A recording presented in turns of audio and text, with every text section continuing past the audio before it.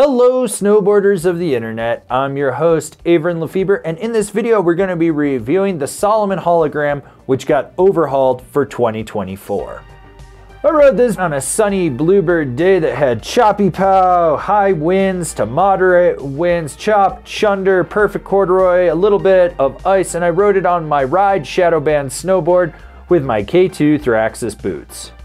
When it comes to binding adjustability you have two twist cams on the toe and the heel strap. You unscrew them, you can lengthen or shorten them, tighten it back down, lock it in. And then you have the forward lean and high back rotation tied to the set screw at the bottom there. That's pretty much it for adjustability on these things. Now let's talk about the straps. With the heel one, you got a two-piece design that's a little thicker than others out there. So you have that exoskeleton on the outside for a little more rigidity through the middle of the instep. And then it's still a thicker strap, even though it doesn't provide any of the padding that all comes from the boot. This contours well around the instep of the boot. It locks you in and it's not so soft that you're pushing through it, but it's not so stiff that you just feel like you can't drive it.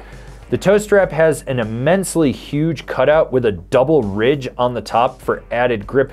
This will fit just about any boot shape from what I've seen. It's gonna lock in and hold it very, very well. With the ratchets, you got a one finger quick release on the heel and that works exceptionally well. This ratchet climbs well, it's easy to use, it stays locked and you don't have to worry about it. Now with the toe, it's a push down quick release. Now that does work, but personally, if you're gonna have one thing with a one finger quick release, you should have the other with it. Both ratchets should be universal. That's my take on that. But these worked, they held well. I never had them prematurely released. They climbed, they locked, they did what you needed them to do. All right, so let's talk about the high back on this thing. It's soft, it's very playful, and when you add in that heel cup that has that shadow fit, you get a lot of give in it especially on the outside. If you're really driving and tweaking it, you can get this to give out. If you're going straight back into it, it's a little more rigid. Overall, it's a soft high back. There's no forward lean adjustment on it. You have to do that with the set screws on the side. Basically, it's a very flexible, forgiving high back.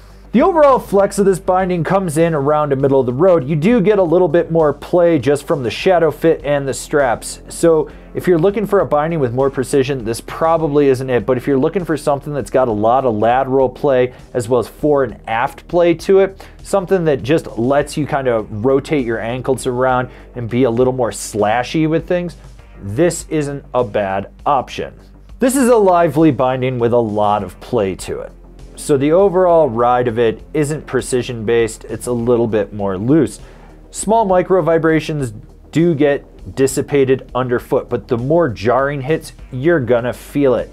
So if you're getting your body rocked, be prepared to take it in the lower back because it's gonna suck.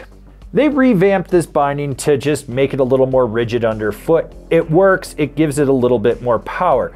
Now, shadow fit isn't for everyone, and the shadow fit on this definitely isn't for me. I would like a stiffer binding, just something with more response. You don't get enough response.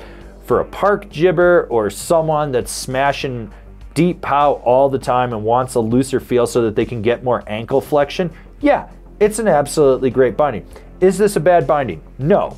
Is it an absolutely mind-blowing great binding? No. But the revamp that they put into this actually works and it works well. Who's this binding for? The All Mountain Freestyle guy that wants it a little bit more loose. Comparable bindings, the Union Strata, the Bataleon Blaster Asym, the K2 Edition.